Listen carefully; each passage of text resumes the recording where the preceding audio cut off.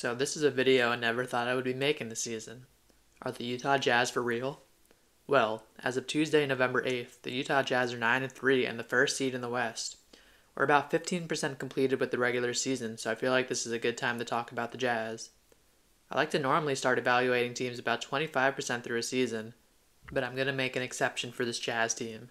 In this video, I want to talk about why the Jazz have been so good, is it sustainable, their roster, Danny Ainge, and more. So without further ado, let's jump right into it. The Utah Jazz have come out the gate scorching hot offensively.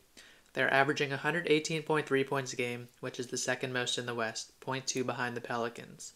Lauri Markkanen is in a perfect situation with the Jazz. He's really flourishing in this Jazz offense that allows him to get a lot of shots up. And speaking of shots, Jordan Clarkson is off to a great start of the season as well. He's averaging 18.3 points a game as a starter.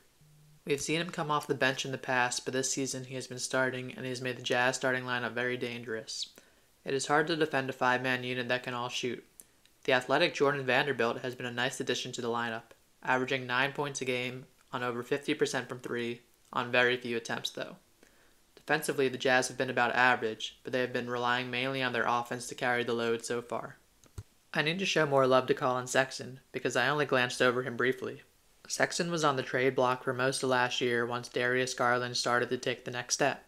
With the emergence of Garland, I feel like people forgot just how good Sexton could be. I mean, this is a player that averaged just under 25 points a game at the age of 22. He's already played in more games this year than he did last year, and he's averaging almost 15 points a game and shooting 38% from 3. He's a big reason the Jazz are playing so well. Should we expect the Jazz to play at this level all year? I'm going to say no. Look, let's be honest. Going into the season, a lot of people, myself included, viewed the Jazz as a tanking team. They traded away their two best players in the offseason, which is why this 9 3 start has been so surprising. The Utah Jazz are taking advantage of home cooking. They are 5 0 at home. Danny Ainge has done a good job of rebuilding this roster. Not only did he get a boatload of picks from Mitchell and Gobert, but he did a very underrated job of getting back a mix of young talent and veterans in trades. In those two trades, Danny Ainge got back Lauri Markin, Collin Sexton, Malik Beasley, Patrick Beverley, who eventually got moved to acquire THT and Stanley Johnson, Walker Kessler, and Jarred Vanderbilt.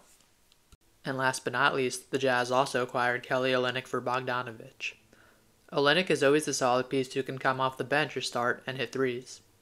Mike Conley, Vanderbilt, and Kessler have been great defensively so far this year. This team is really starting to shape into form. Obviously, those names aren't as big as Mitchell and Gobert, but that is an amazing job by Ainge to regroup cheap talent for guys who didn't want to be there. It is not very often that you see a young head coach in the NBA, yet alone succeeding. Well, Will Hardy is doing just that.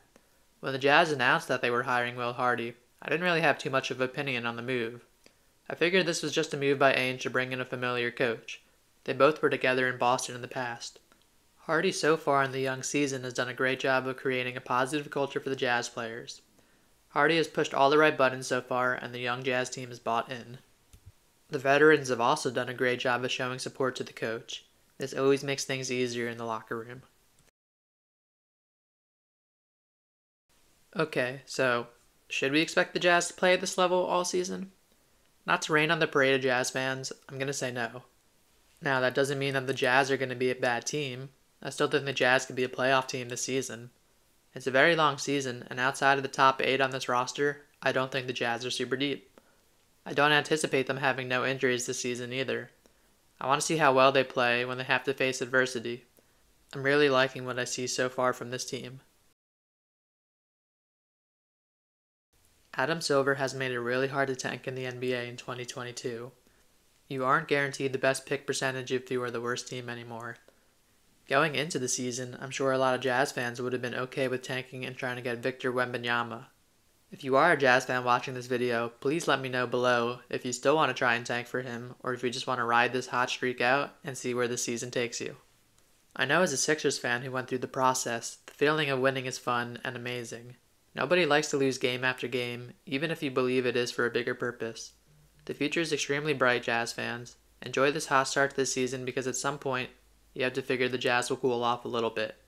But until then, enjoy the ride. And hey, if you made it this far, thank you for watching, and please leave the video a like and consider subscribing if you haven't yet. It will really help out the channel big time. I'll see you in my next video. Peace.